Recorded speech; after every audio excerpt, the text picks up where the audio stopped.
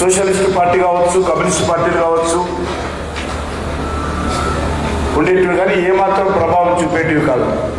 కాబట్టి ఆ రోజు జవహర్లాల్ నెహ్రూ గారు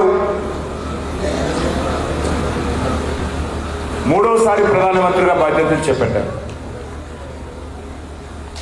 ఆ రోజు సోషల్ మీడియా లేదు ఇన్ని న్యూస్ పేపర్స్ లేవు. ఫోను ఎస్టీడీ లేదు.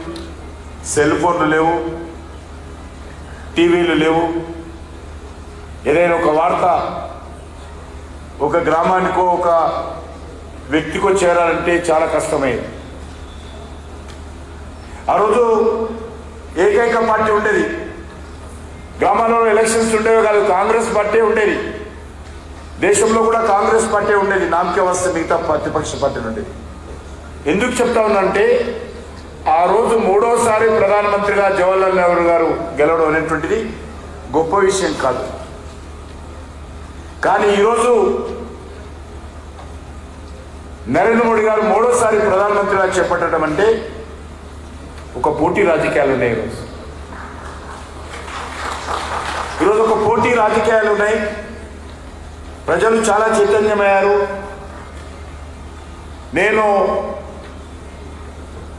థర్డ్ క్లాస్ ఫోర్త్ క్లాస్లో ఉన్నప్పుడు ఒకసారి ఎమ్మెల్యే మా ఊరికి వస్తే ఊరంతా కూడా పండుగ.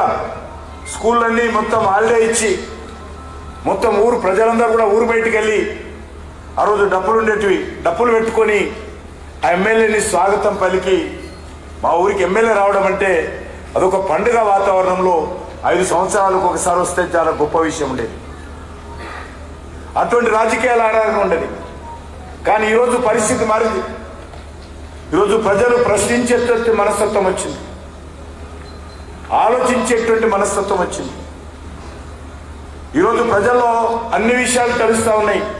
పార్టీలేంటి ప్రభుత్వాలేంటి. కాబట్టి ఈ రాజకీయాలలో మూడోసారి ప్రధానమంత్రిగా బాధ్యతలు చేపట్టడం అనేటువంటిది చాలా గొప్ప విషయము. ఆ ఘనత ఒక నరేంద్ర మోడీ గారికి దక్కిందనే విషయాన్ని సందర్భంగా మరి